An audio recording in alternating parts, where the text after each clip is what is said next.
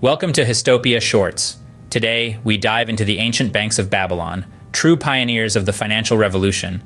Like this clip and subscribe to our channel for more history insights. Journey back to the bustling streets of Babylon, not just home to temples and palaces, but also the cradle of an astounding financial revolution. The Babylonians developed intricate financial systems inclusive of loans, bills of exchange, and facilities that could be considered precursors to modern banks. Here, trade agreements were inked, exchange deals were conducted, and loans were granted. These ancient banks were the heart of the Babylonian economic system, helping make Babylon one of the greatest trading centers of antiquity. Their innovative practices continue to shape our understanding of economics and finance today. Experience the financial revolution of Babylon. Subscribe to Histopia Shorts for more. Like this clip and stay curious.